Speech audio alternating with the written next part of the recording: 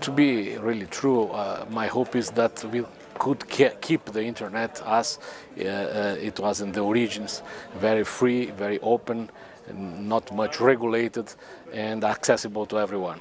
I suppose if we could maintain this original spirit, it would be very good for all of us.